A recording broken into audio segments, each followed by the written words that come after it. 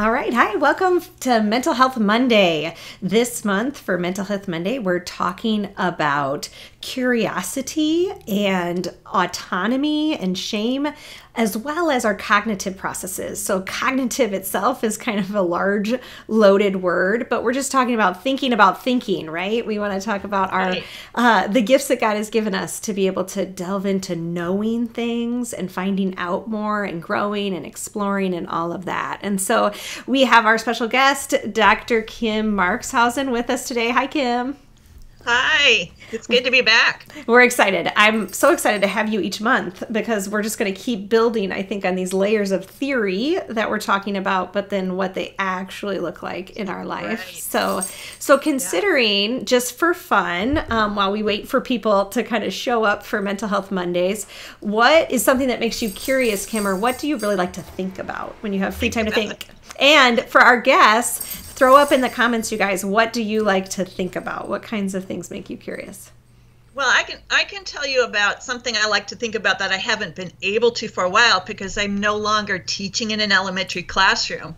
But I've been reminded of that because I've got these little neighborhood boys who keep coming to my house. They kept wanting to sell me things like rocks and their toys, and, I'm- the mother in me is going, "Okay, what's going on here?" But um, I talked them into doing yard work for me. So we've got this team of eight-year-olds who come and do yard work, and I love to listen to the way they talk to each other and think, "What's behind that?" Mm-hmm. you know what and, and what's going to motivate them to keep doing this so that when they're older and they can actually do a good job Ooh, that makes sense. Yeah, so your educational psych vantage point is always on, you know, high alert. Like what what will help them learn to be the That's people right. they need to be eventually and and what experiences have they have that have built them into these little humans and this Oh big human? humans gosh, that they you're are. in my head you're in my head I know, right? No, I love that. I, uh, for me, I'm curious about pretty much anything. Like if someone brings up, um, I don't know, astrophysics, I'm like, oh, tell me more. Like I want to know more. You know, I really like find out more, and I think it's one reason I, I, well, first of all, I just believe questions are the building block of relationship. You know, but also being able to. Um, for me, questions are such a huge part of life. Like I want to hear more about everything out there. And and probably that's some of my own mental health stuff going on actually is like, yes, oh, I'm all over the place at all times. But the if I could pick anything to think about besides probably Jesus on one hand over here, also Jesus connected to this other thing is people's experiences, whether traumatic or not traumatic, regular, everyday, and how those do build them into the people that you see before you that you're having a conversation with. Um, you know, I just think it's fascinating how our brain and our networks and all of that are knit by God in the beginning, but then knit every day as we interact and connect. So, i love that those brain structures are built so that we are in fellowship isn't it's that built so that we are connecting with each other and that is the very essence of every kind of learning Right, right. No, exactly. I love it. Thanks for that that knowledge bomb right there, Dr. Kim. um, so today we're going to talk about the cognitive process and and our uh, thoughts and how uh, we are built to have thoughts, and that uh, works with the rest of our bodies and our hearts and our strength, if you will, and our souls. Uh, but but there's a lot of theories around cognitive growth. So, can you tell us a couple of the most influential, I guess, the most foundational of those theories? Yeah, my my two favorite would be Piaget and Vygotsky. And it's interesting because they're contemporaries of each other, but they did never really mix because mm-hmm. Vygotsky was in Russia, Piaget in Europe, and there wasn't a lot of combination. But oh my goodness, there's a dinner I want to sit on. The two of them talk talking about it. But um, they're both constructivists, and you mm-hmm. were hinting at that earlier. You're really getting me excited about talking about cognition, about how our brains take our experiences and then construct knowledge out of that. Mm-hmm. And that's how our brains will help us to adapt to our world, to wherever mm-hmm. we are at. So um, I think maybe the best way to explain it is that is to talk about if you were teaching a toddler the, the concept of car. if you were a behaviorist, you'd probably get a picture of a car or a toy car, and you'd just keep saying car and pointing to it. And if they could say car, then oh, good, we've learned they it. They know. Right. Piaget would say no, that child doesn't really understand car until they've been in a car and they've ridden around in it and they've had an experience in there. Now they know what a car is. And then Vygotsky would add a little bit more to that. And he would say, he, he's what we call a social constructivist. So he would say that child really understands car when that child realizes the car brings mom and dad back from work, or the car mm. takes me mm, to grandma's house. and you can see how the car fits into your family culture. Mm, ooh, I really like that. That's really helpful because that, well, and I think you can see how different theories are impacted by other theories because I hear a lot right. of systems theory and cultural theories in that, that we are in our time and place, and that has to be taken into consideration um, and within our language and within our relationships. And like you said, made to connect, made to be in fellowship with one another, yeah. and how that back and forth influences the way we see even a simple concept like car that's going to look a lot different for me than it reminds me of a story I read in a book one time. I think it was Radical was the book. It could be a different one, but it was just talking about uh, missional involvement and things. And there was a pastor from a country in Africa, and he had said he had come to the United States and he came back to his congregation to talk about his experiences, all he learned at this seminary and things like that. And he said the thing that really stuck out to him the most was that they have houses over there for their cars. like, yeah. and he was talking about a garage, right? Like, but in his culture, in his time and place, that was a completely out of the box concept and it created new thoughts new ideas um, yeah and i think that really influences our creative processes then as well as our ability to have and be in relationships and what that looks like.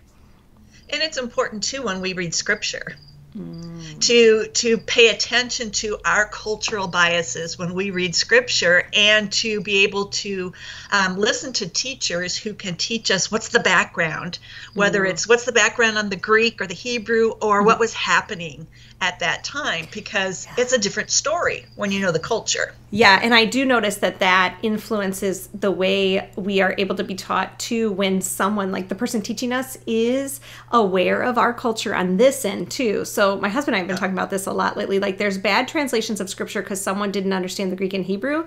There's also bad translations of scripture because they had their cultural bias and didn't understand the reader's place then as well. Right. And so different areas of scripture where we see concepts. I see this especially with concepts that involve community versus unity. I i see certain yeah. areas where we might want to consider some translational adjustments because that term unity isn't translating cognitively for us the way it once was. So we might right. need to use new terms or have a teacher who can explain how that works within our culture at this place in time. So, of Vygotsky, well, I think I, I might be. What I like about this is that we're demonstrating um, two different ideas about cognition.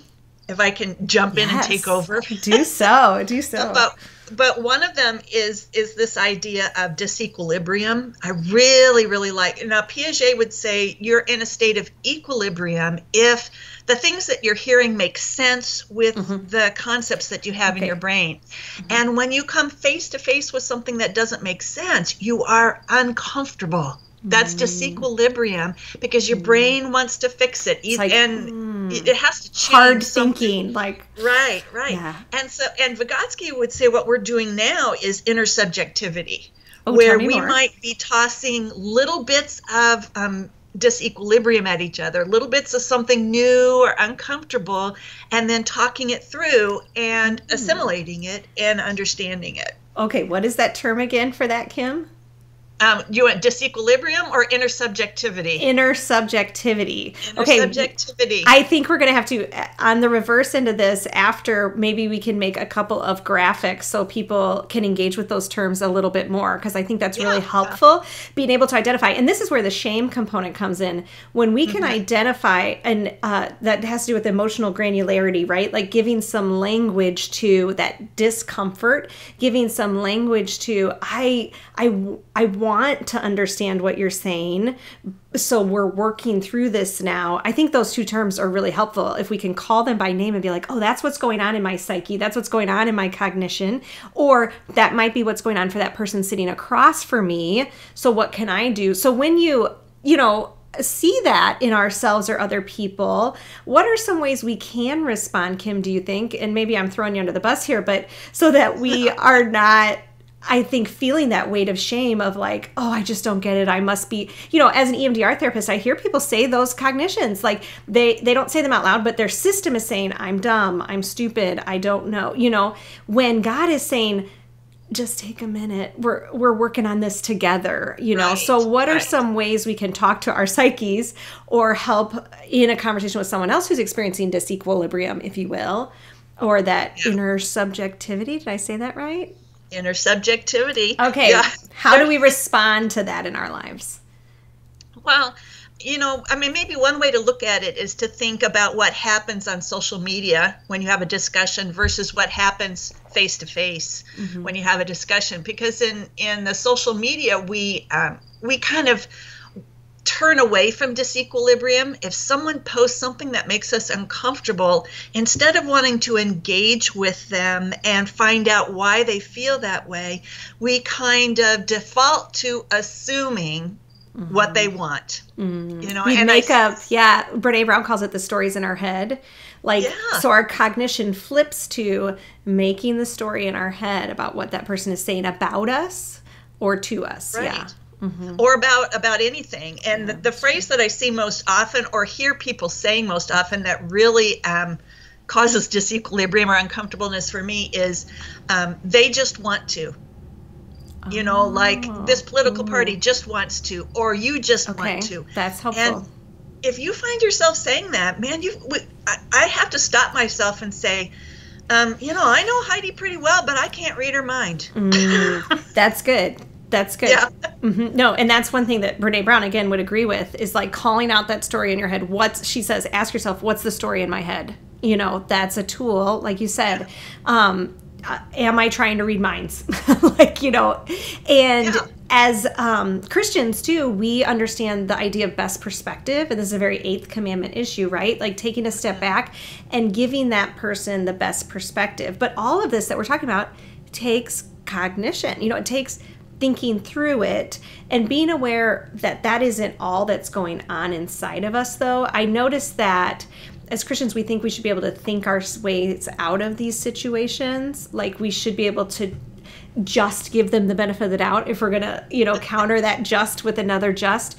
But instead, recognizing the sensations going on in our body that are related to what we talked about last month with attachment and with our needs for connection and community and understanding that those some of those emotions and some of those bodily sensations of discomfort will just rise up. Those things we don't necessarily control, but what we can control is some of this feedback we're giving to ourselves and and entering into like maybe letting something sit for a minute and returning to it or moving the conversation to another platform or to an in-person or something like that. We have control over some of that.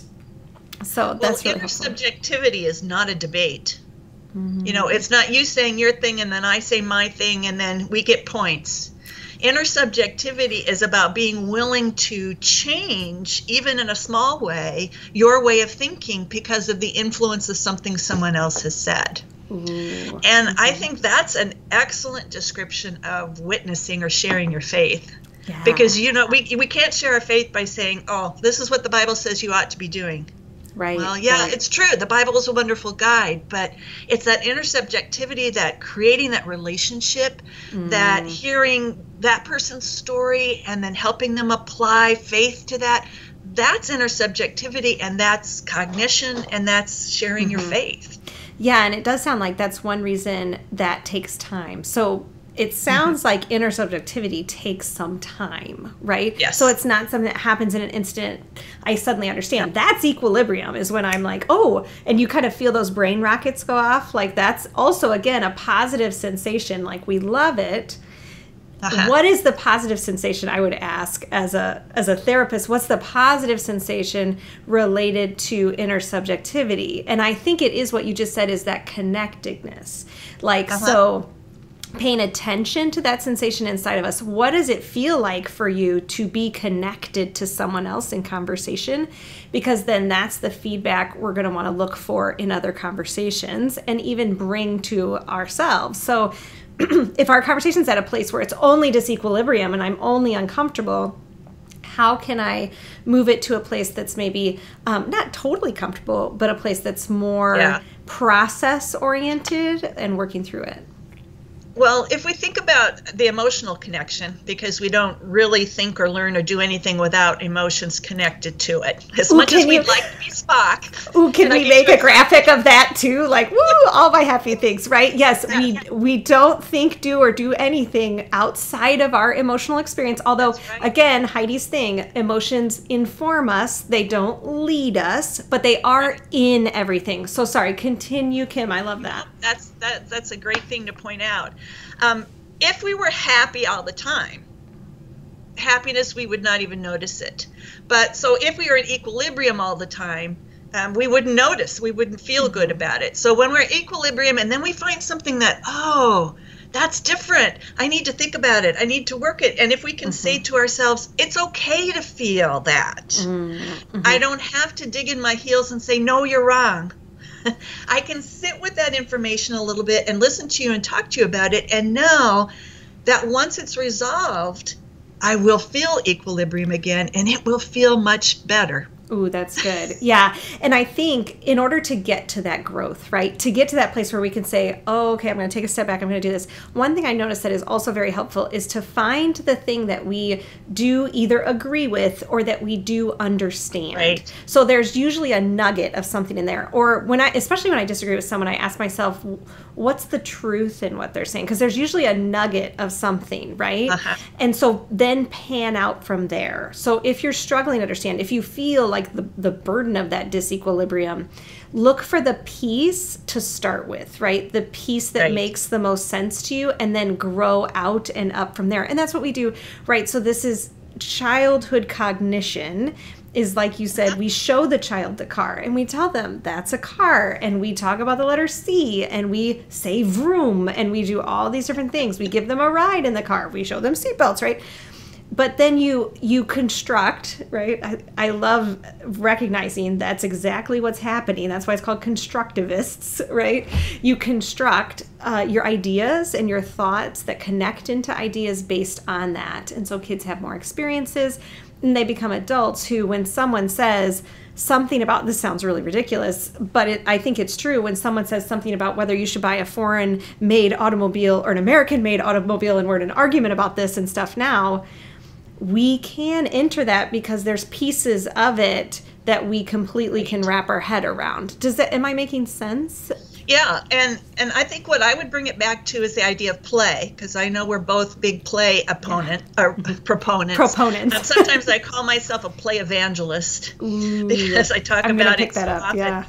But that's that process of the child constructing knowledge is playing with everything, playing with it in different ways, trying things. In fact, um, Piaget says fluency before accuracy, which is mm-hmm. something that really made me think the first time I heard it. But that's like the child playing, doing role playing something again and again and again mm-hmm. until they understand it, until they can be mm-hmm. accurate with it. Mm-hmm. In fact, I had um, a class one year where the mother of one of the students um, died of cancer. And the kids started building um, with our large blocks, they would build coffins. Mm-hmm. And then someone would get in and they'd close the lid, and then they'd open the lid and that child would get out. And I had to stop myself from stopping them. I mean, I did communicate with parents about it, but I said, I think this is how they are working through this idea. Oh, 100%. And then to help parents understand, you know, they're not only role playing death, but they're role playing resurrection too. and isn't that right? Right. Yeah. And and we call that a cognitive interweave that we give in therapy. So so I, play is a child's first language, and I would propose that as we grow, that shape of play just changes. And so, like Right. English and, and verbal language might be our first language as we grow, but it's still a very important component of the way we make sense of the world is play. So, I, I'm really building a lot of resources around this right now of how we play as we grow. Um, but watching children, it's amazing as a trauma therapist what they will work out for themselves in play. It's a really beautiful process. It does, again, take time, and sometimes we're uncomfortable with that. We want it to take care of itself immediately. Um, but we call it a cognitive interweave. So there, maybe the children just going in the coffin, you know, and then they're coming out, and you get to give them some language for that of, isn't that awesome that God gives us new life? I don't even have to say a whole lot else, right? I don't need to explain, and, and I can. I mean, I can create a lesson out of this, but sometimes we don't want to disrupt it too much. And I, I kind of heard that in what you were saying, right? Let them have their process, give them a little piece to integrate at a time. And as adults, this is one way I think that we take shame on is when someone tries to give us a cognitive interweave, if you will. When someone says, we so often it, think we're doing that in correction, but again, instead, if we're asking a question, that interweave is going to be able to be taken because we're doing the introspective. We're like turning on all the buttons in our brain that say, let me consider that thought instead of you did something wrong or you are bad, that you don't understand this correctly. Does that also yeah, make so sense? much more about that relationship than about the debate mm-hmm. yeah. or a lecture. That's so true, yeah. I could have done um, a nice lesson on death for those five year olds, and Mm-hmm. it would have gone in one ear and out the other. And instead, we let them play, and then they learn it. It, it goes to their heart. God speaks to them a little bit each time they, Right. they do that. Yeah, and I would propose that in an adult system, it conversation feels the same way to us. So Mm-hmm. In, that's our play, right? I mean, there's a lot of other things that are maybe more recreation, but I think a lot of play that we experience as adults is that relational connection.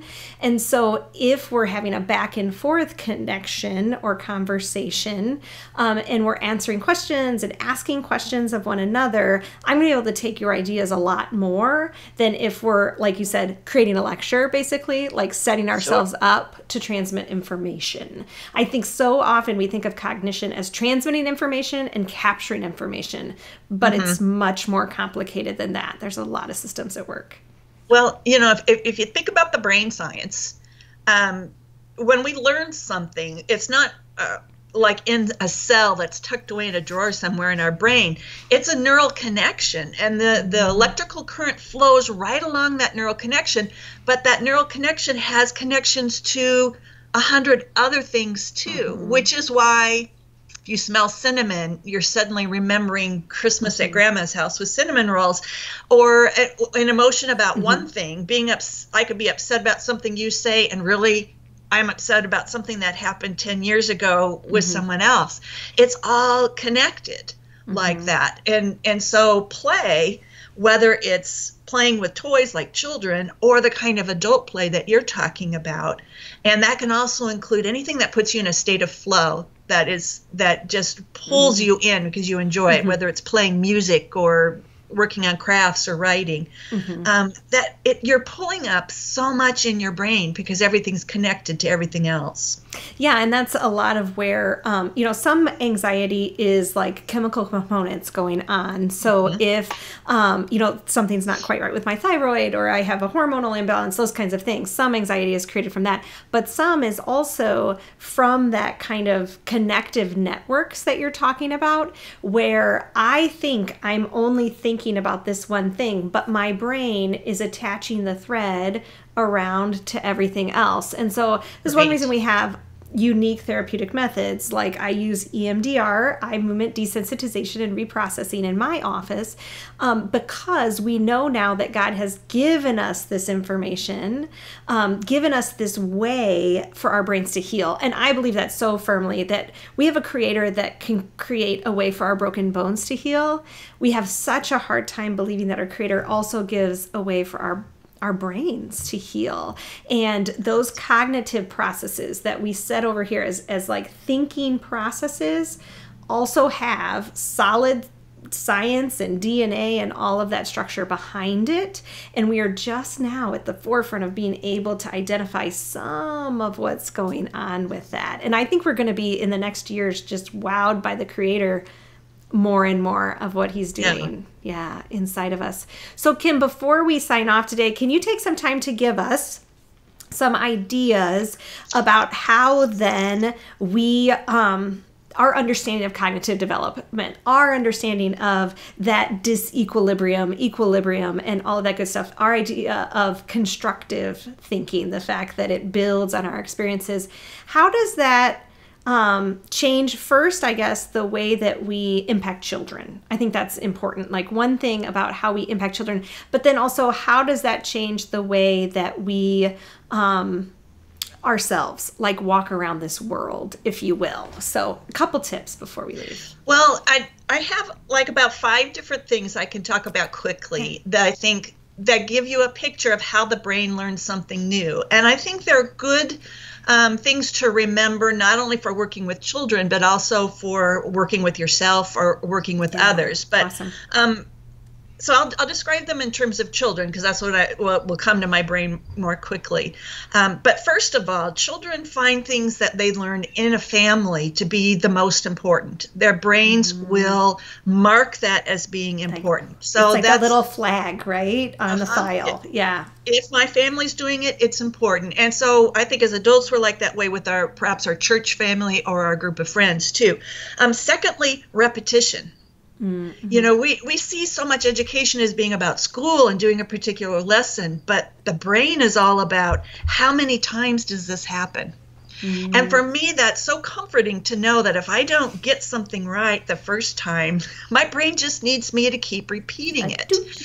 Right. Yeah. I like so, that because that does release some of the shame too. So that our brains actually are made so that they prefer if we poke at them more about this one thing instead of, I didn't get it the first time. Now I feel like there's something wrong with me. We're actually made to hear it again and again and again. That's really helpful. Thanks, Kim. Keep That's going. that fluency before accuracy thing mm-hmm. right there. And, and, our brains are taking statistics. If this happens a lot, it's mm-hmm. also important.